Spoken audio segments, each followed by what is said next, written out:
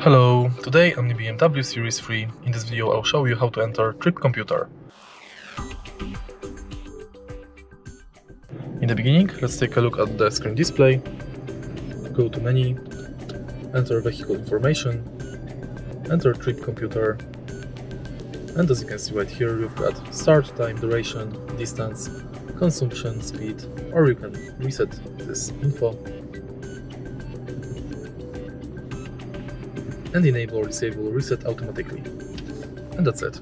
If you find this video helpful, please leave like, comment and subscribe.